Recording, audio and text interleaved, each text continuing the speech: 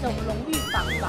那身为这个台派的人都希望能够上榜，那为什么我们没有在荣誉榜上？所以也很难理解他们的标准到底玻璃心碎满地是什么东西打破玻璃？我也很开心，希望能够把它放放到这个中国的这个荣誉榜上。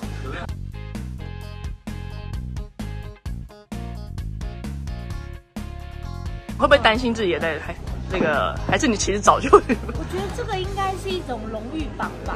那身为这个台派的人都希望能够上榜，所以我觉得这个中国的标准到底在哪里，我们也看不懂。因为我们也认为中国不管是经济呀，或是各方面，其实民主自由确实是非常的倒退。那为什么我们没有在荣誉榜上？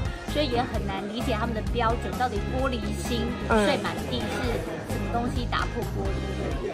那如果你也在榜上，你会很荣誉，吗？呃，不管我们在榜上，反正我是不会去中国，我们家也没有人在中国做生意，所以其实对我来讲是没差。但是如果他把我放在榜上，我会很开心，希望能够把它放放到这个中国的这个荣誉榜上。